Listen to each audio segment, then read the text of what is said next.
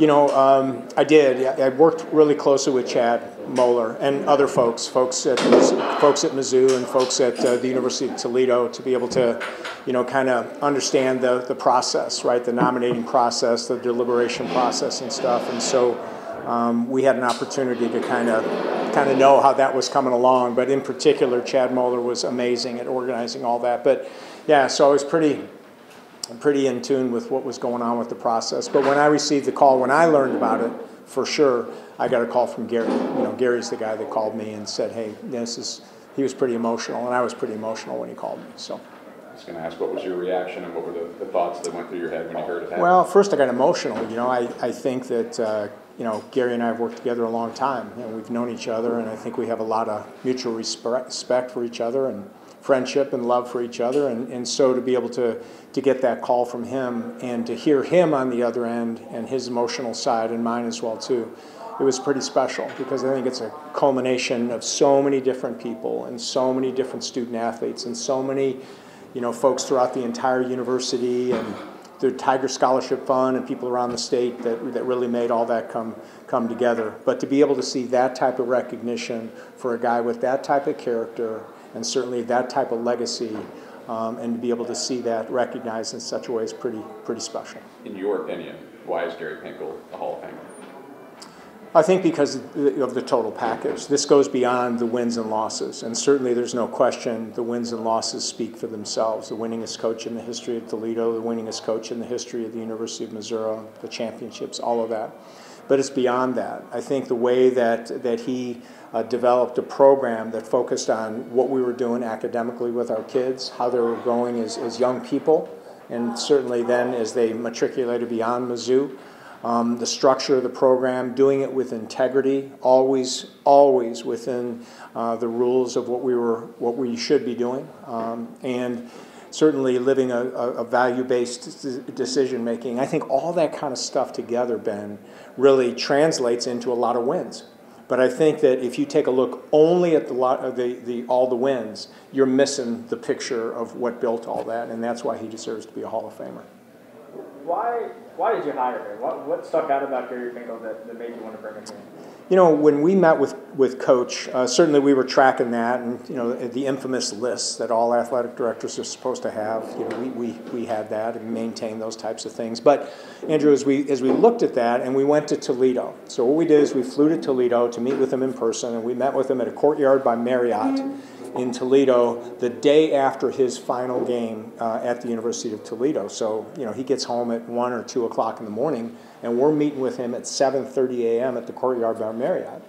And so when he comes into the to the hotel room, you know, kind of a semi-suite kind of room that we had with just a couple of folks in there, uh, then um, his just his focus and his intensity and his organization and the way that he was able to express a, a, a kind of a humble confidence and, and his ability to be able to characterize what he expected to do to be able to build a program.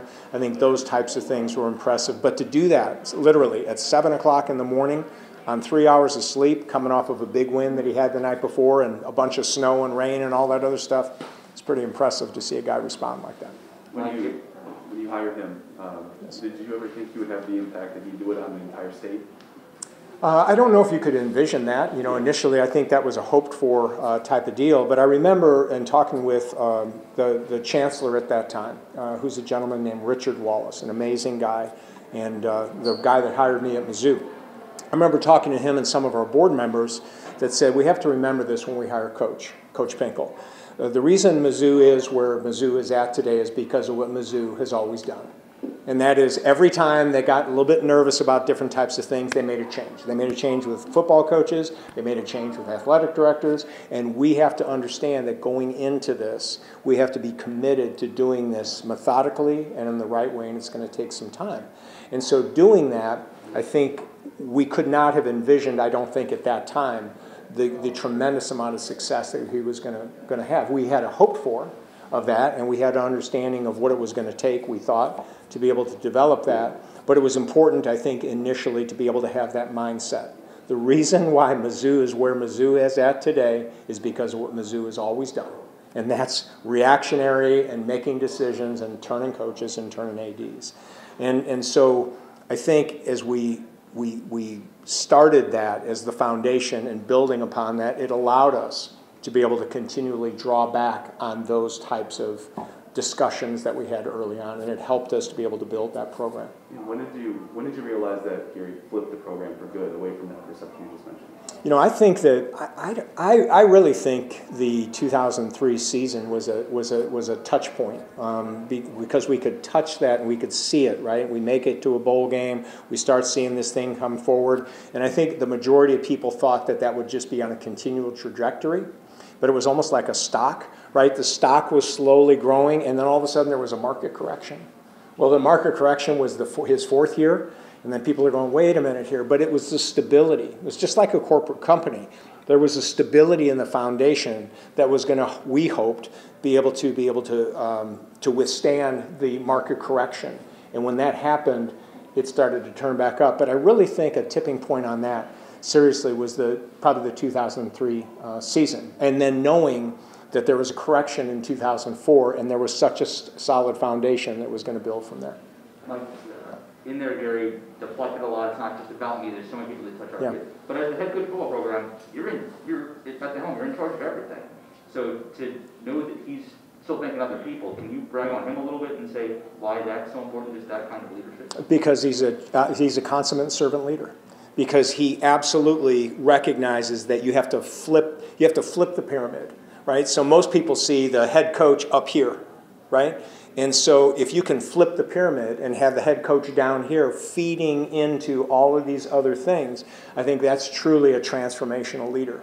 And so, when Gary deflects like that or talks like that, that isn't just verbiage, that's who he is, right? And he is literally a servant leader to, to the core. And he has that ability, and he had that ability to take that pyramid at Mizzou and to flip it upside down. Now, by flipping it upside down, though, Eric, it also doesn't mean, though, that you're just kind of casting it away and letting folks kind of do what they. There still has to be somebody that's going to ultimately make the decision.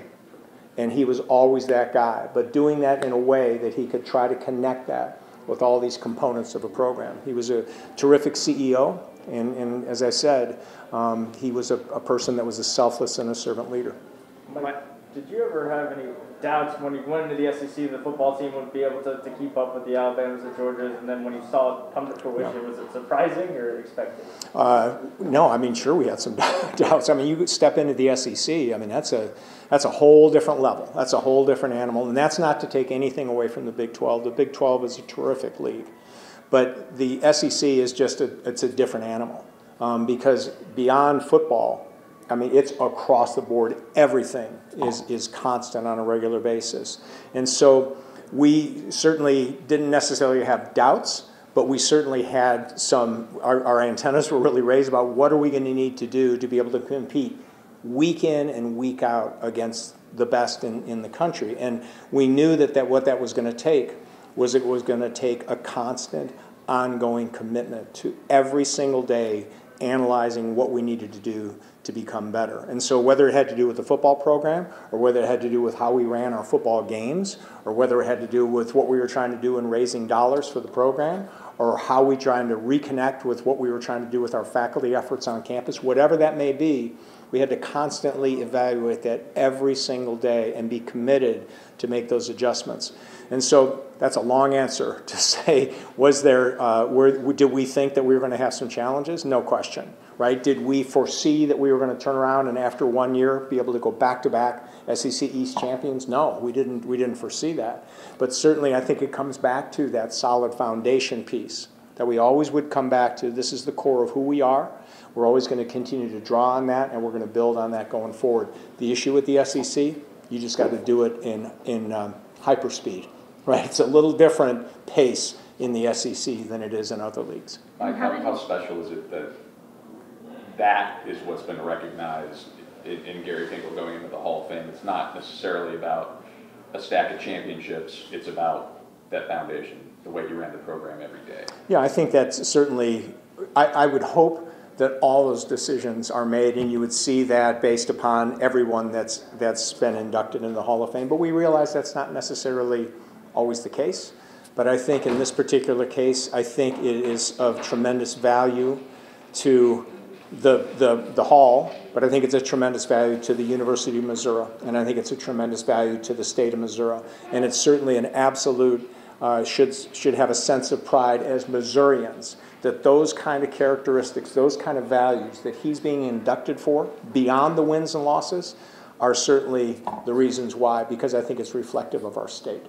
And you mentioned kind of, you know, that foundation just, you know, when you had kind of that first year in the SEC that didn't really go the way you guys wanted, or, you know, other times it didn't just, what about him as a coach and as a person kind of made you guys able to weather the storm, you know, in addition to just having that foundation of kind of how he went about things? That, that's a great, a great question. I think that now you're, now you're talking about 11 to 12 years of relationship, right? Of working together and understanding how each, it's not just Gary and I, it's all of us, kind of how we tick and how we operate and what we respond to and what our challenges are. So I think that over the course of that time, we developed a, a certain Uh, uh, inter- intersection with everyone about how we operated, knowing that if in fact we had some setbacks, that we've addressed those before in the past, and so we had relationships and trust that had been built up over the course of time, and I think that really helped us through that for the first year. Gary said he had some trouble defining his own legacy. How would you hmm. define his legacy at Mizzou? Um, you know, I was asked this question the other day, so I'm going to use the same response. That's because I thought about this. I, I hadn't really thought about that. You know, there was a time, and there's still a time, uh, where Mizzou uh, uses a, a, tagline called Mizzou Made. You've seen that, right? You've seen Mizzou Made. Mizzou Made, that tagline of Mizzou Made came from Gary Pinkel. Gary Pinkel talked about we need to define what Mizzou Made means with regards to our football program. And what, what does that mean? Well, that means that our kids go to class. It means that we play really hard. It means that we are balanced on offense and defense, whatever that may mean. It's a lot, it means that we focus our attention, that we're always going to try to get 80% of our recruits from the state. Uh, we have to get 80% of the top recruits out of the state of Missouri. Whatever that may mean, there's a definition. So that when people looked at Mizzou football and they heard Mizzou made, there was a correlation between what that brand meant. Now, what happened with that, that uh, mantra is not only was that part of the athletic program, that was adopted by the University of Missouri. And to me, I think that's an amazing legacy. That to know that from the foundation and the, the, the, the, constants in an athletic program, and in particular in football, that an entire institution, right, and our faculty, staff, and our students all adopted the moniker that said, we're Mizzou made. And Mizzou made reflect, reflected who we were as uh, Missourians. And to me, that in itself is an amazing legacy because it, is, it has uh, expanded way beyond winning football games. It's, it's, it's gone throughout the fabric of an institution. I think that's pretty cool. Can you describe what Gary means to you personally? Oh, personally, well, you know, we're, we're, we're, we're good friends and, and we're close. I think we're, we trust each other. We enjoy when we get together for coffee and, and talk about different types of things. And we have very similar interests. Um, and I think from a you know, from a professional and a personal standpoint, to be able to have someone that you can count on, that is you, you trust, and who's also trustworthy, and that you have a lot of mutual respect and just have fun being around. Um, I'm trying to define what he means to me. He means a lot, of, a lot to me, right? He's a very special person in my life, and the life of my family, my wife Rocky and our son Jake, and, and a lot of people. Mike, you mentioned that there, there's a long list of people he hopes to invite to Atlanta. Do you need to be, you need to be on that list, right? Now we, now we, are we going to be in Atlanta?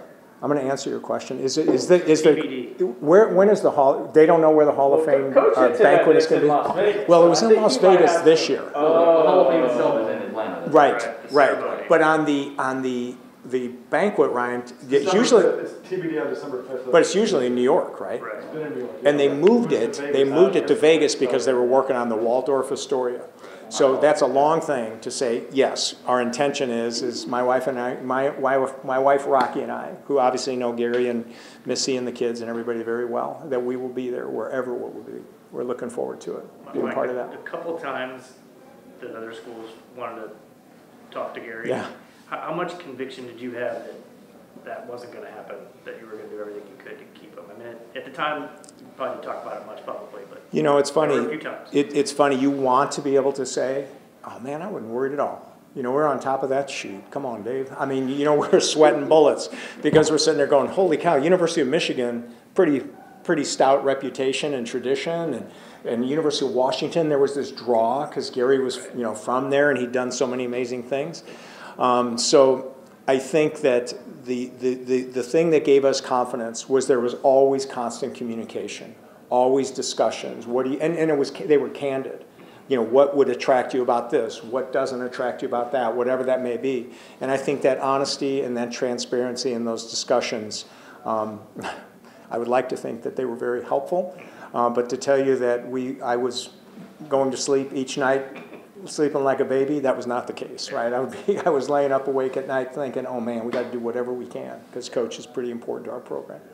Do you, do you think 15 seasons with the program is, is realistic these days, or, or how, how does that gonna happen again? I don't, I don't know if that does. I, I think, and I'm not trying to, this isn't about me. I'm just trying, not trying to pull that in there too. It's similar like athletic directors, right? So I was here 17 years and Gary was here 15 years. And for us doing that kind of stuff, if you look around the country, there's very few places anywhere in the country that, that will show that. And I think that the connection on both of those positions are, are important, right? Because of the, of the churn. But as far as specifically to a football coach, um, that thing beyond, you know, when you start looking at a, a double digit number of years that they're at a certain place, that, that anymore, that's just not the case, especially in the Power Five conferences. It's just not the case. Mike, looking back, 05 Independence Bowl, Right. come back into the transition from Brad and Chase in 06, Yeah. 07. Is Yeah. that the most critical window of the Gary Pinkel success? Yeah, I think so. I think that, who intercepted that ball and ran it back for us in 2005? Second seed amendment. What was that? Marcus King. How, remember that? Holy cow, man, we're getting smoked in the first half, and I'm sitting here in the, I'm sitting there in this AD box, and, and right next to it is the is the ESPN box, and they're just ripping us. Those guys are like laughing at us in the in the ESPN guys because we're down 21 nothing or whatever. Marcus King re- returns that ball. Um, and I think that transition piece, wh- how it resonated with me personally, was after that game. I remember that because I was usually always in the you know locker room, win or lose, always in the press conferences on the field. And Brad Smith, I'd just seen him, and right after that, Ben, Chase Daniel comes up to me and he pops me on the chest. He goes, "Mr. Alden, don't worry, you're going to see a lot more of those coming up when I'm in. When not with me, it wasn't about. He didn't say about me. He goes, "Don't worry, Mr. Alden, you're going to see a lot more of those coming around here." And I thought, man, that was pretty cool. You got this guy named Brad Smith, who was a transformational player. You got this next guy who was the heir apparent, Chase Daniel, popping me on the chest and saying, "Don't worry about it, Mr. Alden. You know, we got this. This is what it's going to be like." I think that was pretty pretty cool. And then you saw everything just take off from there.